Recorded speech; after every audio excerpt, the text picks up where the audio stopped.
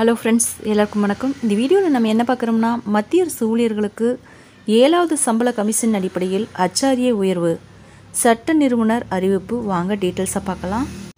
மத்திய அரசு ஊழியர்களின் அகவிலைப்படி நாற்பத்தி ஆறு சதவீதத்திலிருந்து ஐம்பது சதவீதமாக சமீபத்தில் உயர்த்தப்பட்டது.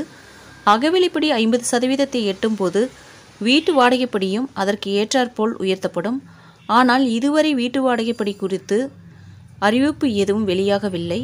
இது குறித்து ருத்ரா மற்றும் ருத்ரா சட்ட அலுவலக நிறுவனர்களில் ஒருவரான சஞ்சீவ் குமார் கூறுகையில் வீட்டு வாடகைப்படியை சரியாக கணக்கிட மத்திய அரசு ஊழியர்களுக்கு வழங்கப்படும் மற்ற சலுகைகளை பற்றிய புரிதல் அவசியமாகிறது.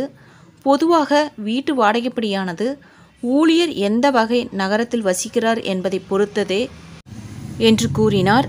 வீட்டு வாடகைப்படி அந்த நகரத்தின் வகையை பொறுத்தது நகரங்கள் எக்ஸ் ஒய் மற்றும் ஜட் என்று பிரிக்கப்படுகின்றன.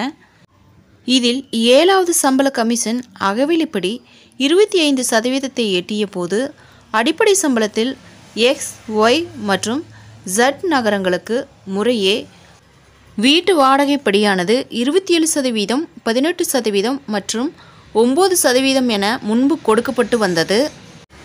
பிறகு தற்போது அகவிலைப்படி ஐம்பது சதவீதத்தை எட்டிய பிறகு வீட்டு வாடகைப்படி விகிதங்களை முறையே எக்ஸ் ஒய் மற்றும் ஜட் நகரங்களில் அடிப்படை சம்பளத்தில் முப்பது சதவீதம் இருபது சதவீதம் மற்றும் பத்து சதவீதம் என திருத்தியுள்ளது. ஆகவே ரூபாய் முப்பத்தி ஐந்தாயிரம் அடிப்படை சம்பளம் பெறக்கூடிய மத்திய அரசு ஊழியர்கள் இனி எக்ஸ் நகர வாசியாக இருக்கும் பட்சத்தில் வீட்டு வாடகைப்படி ரூபாய் பத்தாயிரத்தி ஐநூறு வழங்கப்படும். ஒய் நகர வாசிகளுக்கு வீட்டு வாடகைப்படி ரூபாய் ஏழாயிரம் வழங்கப்படும். ஜட் நகரவாசிகளுக்கு வீட்டு வாடகைப்படி ரூபாய் மூவாயிரத்தி ஐநூறு வழங்கப்படும். ஃப்ரெண்ட்ஸ் இந்த தகவல் உங்களுக்கு யூஸ்ஃபுல்லாக இருந்தால் என்னோடய சேனலை சப்ஸ்கிரைப் பண்ணுங்கள் லைக் பண்ணுங்கள் மற்ற நண்பர்களுக்கும் இந்த வீடியோவை ஷேர் பண்ணுங்கள் தேங்க்ஸ் ஃபார் வாட்சிங்